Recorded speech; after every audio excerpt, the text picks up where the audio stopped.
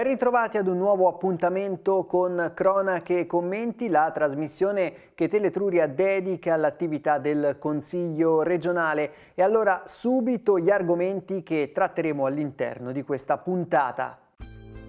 Il punto sui vaccini anti-Covid. Scorie nucleari, no del Consiglio regionale della Toscana. Approvata all'unanimità una mozione per mantenere gli uffici postali nelle aree marginali. Ristori per i comuni montani in situazione di emergenza. Devo dire io sono orgoglioso, orgoglioso del nostro personale medico, orgoglioso di come l'assessorato ha intrapreso questo percorso e non era semplice. Più di 50.000 eh, vaccinati, soprattutto i medici di prima linea, il personale dell'RSA, gli ospiti dell'RSA. Abbiamo deciso di partire dalle persone più fragili, da quelle più in difficoltà. Però vogliamo continuare in questa direzione e non appena, oggi ne sono arrivate altre più di altre 30.000, non appena ci sarà la possibilità vorremmo vaccinare anche tutti gli operatori sanitari che non sono rientrati in questa fase, i liberi professionisti, tutti coloro i quali hanno contatti con pazienti. Noi eh, riteniamo che questo della vaccinazione sia il modo, insieme alla responsabilità, per uscire da questa, eh, da questa difficile pandemia che stiamo vivendo. Eh, All'assessore oggi ho chiesto una cosa, di dare la possibilità a tutti di potersi vaccinare eh, rapidamente non appena arriveranno i vaccini, ulteriori dosi, di organizzare una presenza capillare sul territorio nei prossimi mesi quando avremo le disponibilità eh,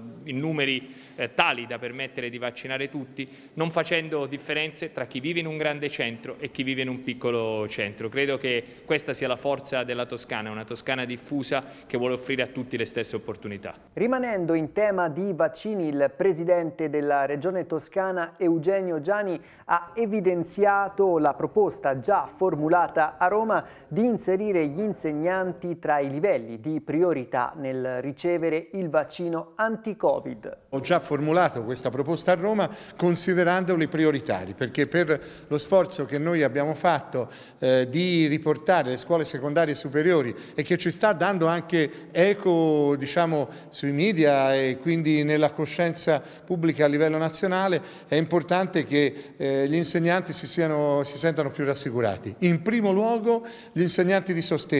perché hanno eh, rapporto con persone più fragili, ma complessivamente tutti gli insegnanti, a mio giudizio, devono entrare eh, nella categoria di coloro che, superata la prima fase, quella dei circa 120.000 vaccini in Toscana, che riguarda gli operatori sanitari e gli anziani dell'RSA, secondo me ci devono essere loro. Il Consiglio regionale della Toscana dà un segnale forte, ha detto no alle scorie radioattive e nucleari in Toscana, l'ha detto in maniera unanime, in maniera forte,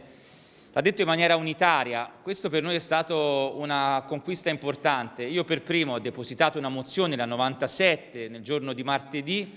siamo stato il primo partito a depositare a dire no con forza, nelle ore successive la costruzione di un consenso diffuso con tutte le forze politiche, poi siamo arrivati all'unanimità in Consiglio regionale per dire no in Toscana, a Trequanda, a Pienza, a Campagnatico, in Toscana. La Toscana vive di un territorio straordinario, vive del proprio ambiente, della natura, del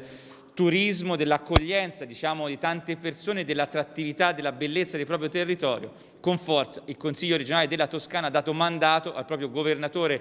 Eugenio Giani di rappresentarci per dire che la Toscana non accetterà mai il deposito nazionale di scorie radioattive e nucleari. Per me personalmente una vittoria importante per essere stato il primo a denunciare tutto questo e ringrazio tutte le forze politiche che hanno voluto condividere un atto unitario approvato dal Consiglio regionale. È un segnale forte di netta contrarietà, noi comprendiamo che quello sia un problema che va risolto ma non si può risolvere andando a compromettere, andando ad intaccare uno dei posti che sono più belli dal punto di vista paesaggistico, storico-naturalistico, ambientale,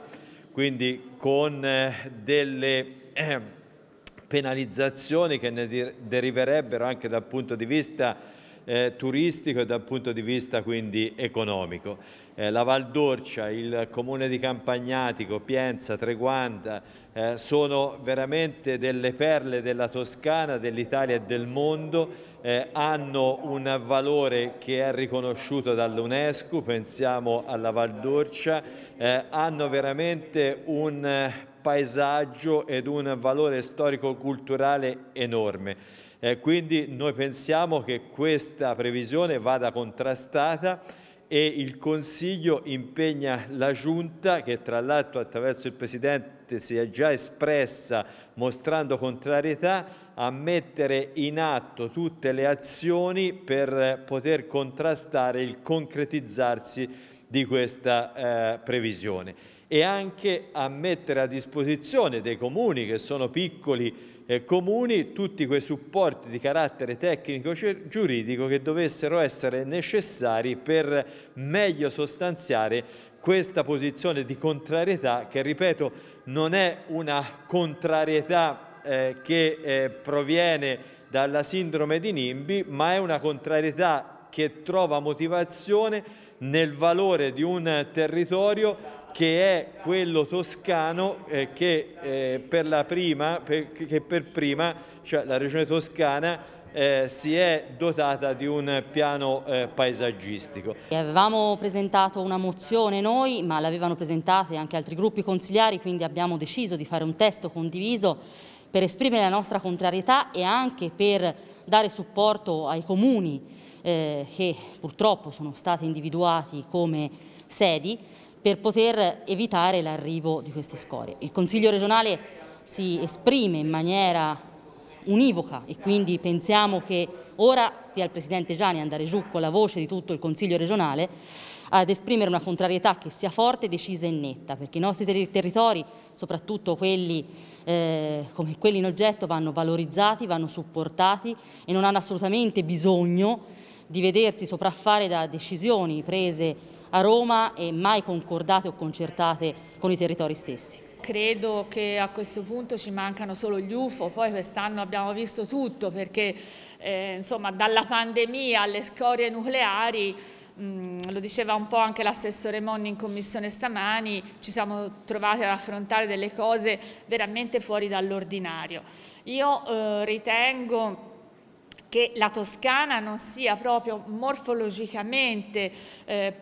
adatta ad ospitare un sito eh, di deposito nazionale per le scorie nucleari, soprattutto addirittura in quei luoghi che vengono identificati dalla carta CNAFI, perché sono luoghi non solo vicinissimi a siti dichiarati patrimonio mondiale dell'umanità da UNESCO, ma hanno anche una vocazione turistica e agroalimentare di pregio andare a uh, costruire un deposito di scorie nucleari vorrebbe dire ammazzare qualunque possibilità di ripresa economica e di rilancio uh, delle attività uh, di quelle zone, fermo restando appunto poi la pericolosità. Capisco che il governo si sia trovato a una diciamo, decisione importante per evitare le infrazioni della comunità europea, però mi domando, perché non sono state interpellate, se non lo sono state, perché ancora non lo so, eh, le regioni e soprattutto perché mh, fra i vari parametri analizzati per definire quei siti di stoccaggio non sono state prese anche altre considerazioni come per esempio il pregio naturalistico e paesaggistico delle zone individuate. Questa è una cosa eh, fondamentale per quanto mi riguarda e mi fa molto piacere che tutto il Consiglio regionale all'unanimità abbia approvato una mozione che ehm, dà sostegno al Presidente Gianni nel suo diniego all'autorizzazione. Diciamo che la notizia è che ancora una volta la Regione Toscana si attiverà nei confronti di Poste Italiane SPA perché non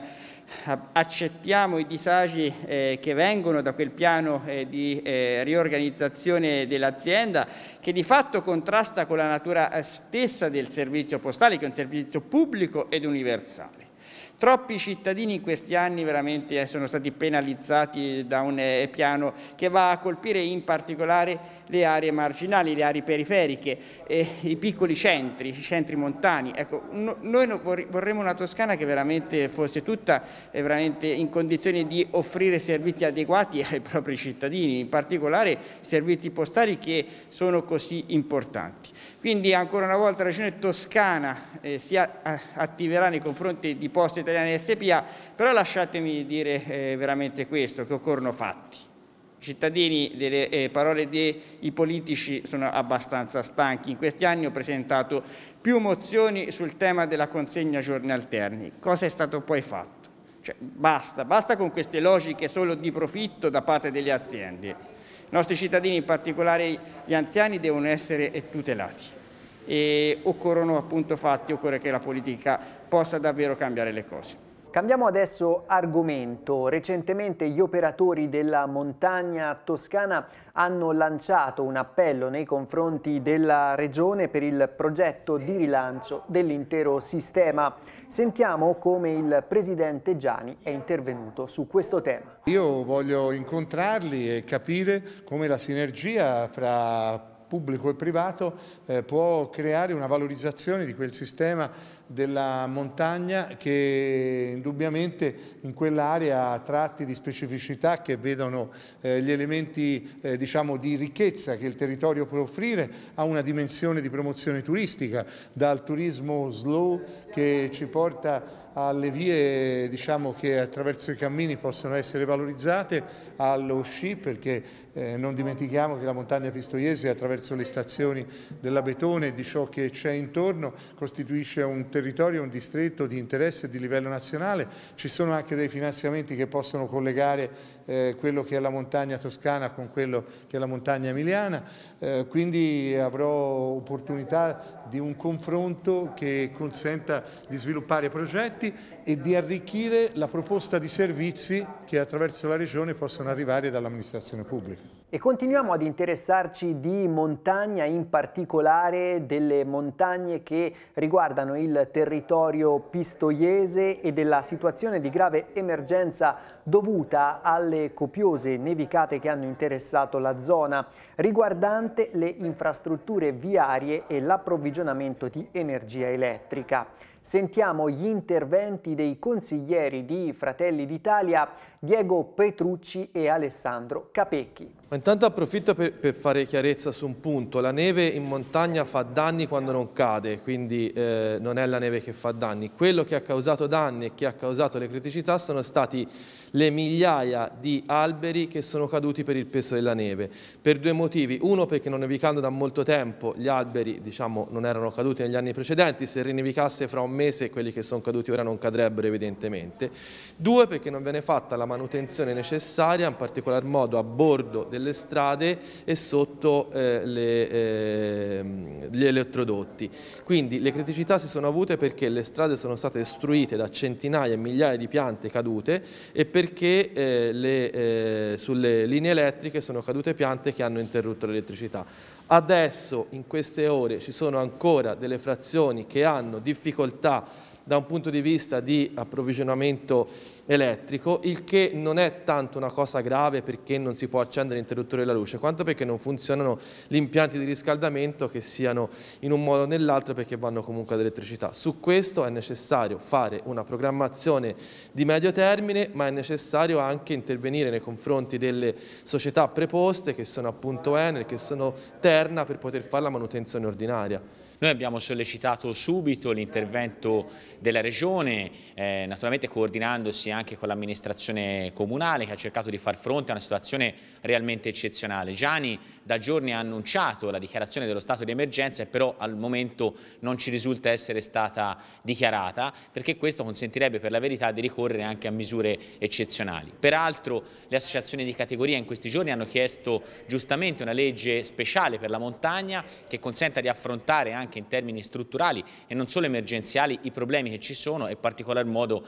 la grave crisi economica. Quest'anno è paradossale purtroppo la situazione, c'è tanta neve, non si può sciare, gli impianti sono chiusi, rimarranno chiusi per il momento fino al 18 di gennaio, quindi noi chiediamo con questa mozione risorse specifiche e siamo d'accordo nell'aprire un tavolo di confronto immediato e una legge speciale per la montagna perché occorre fare sistema. Questa era la nostra ultima intervista, termina qui dunque l'appuntamento di questa settimana con cronache e commenti.